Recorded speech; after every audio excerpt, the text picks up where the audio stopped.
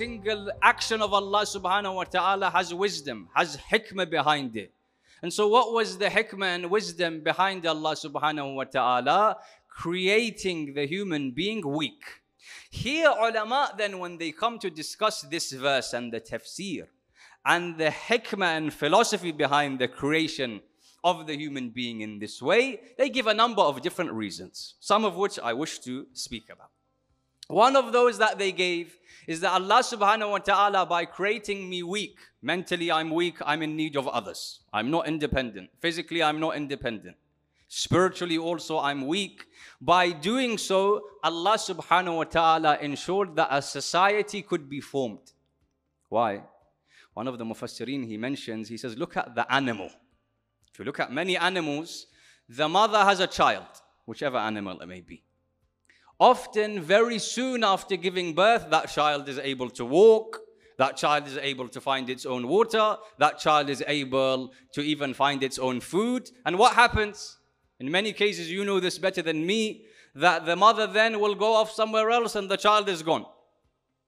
They separate from each other. The father is nowhere to be seen. Why? because there is no need amongst them. The child doesn't need the mother now. As soon as Allah subhanahu wa ta'ala created the child with strength, now the child can find its own food. Often the child uh, can uh, fly very soon or walk very soon after uh, its birth. And therefore, there's no, not a sense of them coming together and sticking together.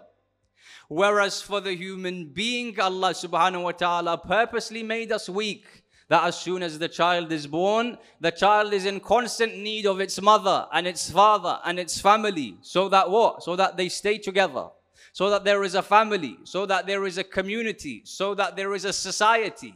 And so scholars said one of the reasons that Allah created us weak in the sense that we need each other for survival is so that we have a community. I need you for certain things, you need me for certain things. So that we live together. And this was something that the human being was given, not other, not other creation of Allah subhanahu wa ta'ala. Why was the human being given this? Because we were created weak. And I always remember when I speak about this idea of the need of one another. I always remember this riwayah of Imam Hussain alayhi salatu wasalam, where he says, Inna Hawa nas ilaykum min ni'amillah alaykum the fact that someone else needs you. You know, often when someone needs something from me, I don't like it, I detest it. This person's always asking, Am I the only one that can solve this problem? Often we have this idea. When someone needs something from me, I can solve someone's problems. Often I don't like this. Abu Abdullah alayhi salam said, When someone needs something from you and you can solve their problems, this is one of the bounties of Allah subhanahu wa ta'ala over you that Allah subhanahu wa ta'ala chose you to be the intermediary through which someone else's problems are solved. And so the human being, the first reason why he was created weak, so that there could be a society, so that each person has need for someone else, they also have need for you. This was the first reason. Other than this, the scholars came and they said, look, we were given an example of someone who was created strong, whose body was created strong, who had strong willpower. Look how he turned out to be. Allah subhanahu wa ta'ala, when He cre- created me weak in such a way, He does so with a reason. That when you look at shaitan, who was created from fire, one of the most detested qualities in the eyes of Allah subhanahu wa ta'ala was when someone admires themselves, takes themselves to be better than others, and someone has takabbur and arrogance. Why? Because certain sins are specific to certain types of people. For example, drinking alcohol, taking drugs, these are sins. But they're only specific to those people that have wealth. A person that can't even fill his own stomach, he doesn't have enough money to fill the stomach of his own family, how is he going to go buy alcohol and drugs, mathalan? It's difficult if he's got no money. Certain sins are specific to certain types of people. Certain sins, everyone is susceptible in performing them. Everyone is in danger in performing them. Like what? Like takabbur. If you are young, often you have takabbur and arrogance of your youth. If you are of older age, you have arrogance that I am much older than this person in front of me. They show arrogance. If you have knowledge, often you have arrogance of your ilm. And you see yourself to be superior to others due to this knowledge of yours. If you don't have knowledge, then often they have arrogance of something else, of their wealth, or the fact that they're more modern than you, or more transparent than you, or they understand things better than you. Every group in society was in danger in performing takabbur and admiring themselves. Allah subhanahu wa ta'ala purposely made me weak so that when I think that I'm something, all of a sudden I fall unwell. All of a sudden I forget something. You know, when you forget something, often this is a gift from Allah subhanahu wa ta'ala. For if I remembered everything, I would become arrogant. How good of a memory is mine? If I never made mistakes, I would become arrogant. Look how strong I am in the work that I do. I never make mistakes. Purposely, Allah gave me marad, illness. Purposely, Allah made me weak so that arrogance and ujb, self admiration, wouldn't enter into my heart. And in this regard, Marhum al Kulayni rahmatullah alayhi mentions a very interesting hadith in his Al Kafi. Al Kulayni speaks about Musa Kalimullah and we have a number of riwayat where we're told that a prophet of God meets shaitan. And I'm sure you've heard of some of these riwayat. Of these is this riwayah of Musa al-Kalim who is sitting. He says on one occasion, shaitan comes to me. Shaitan, when he would come to these prophets of God, often he comes in different forms.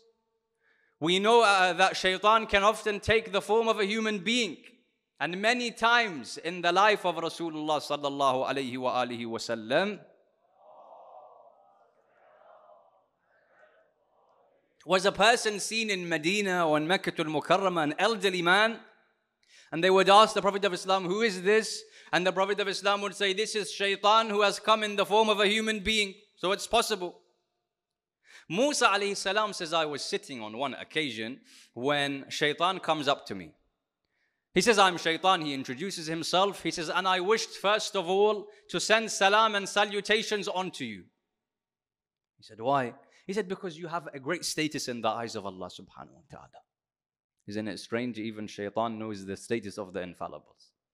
He says, I know that you have a great status in the eyes of Allah subhanahu wa ta'ala, which is why I wanted to send salam to you. So Musa alayhi salam says, Wa alaikum salam. Now in this riwayah, the riwayah says the way in which shaitan was dressed of course, many of these riwayat are metaphorical. The way in which shaitan was dressed is that he has a hat on his head which is of a number of different colors. So shaitan, uh, Nabi Musa asked shaitan, What's this hat on your head? He says, This is the way within which I deceive insan. I.e., those different colors are different ways within which I trap the human being.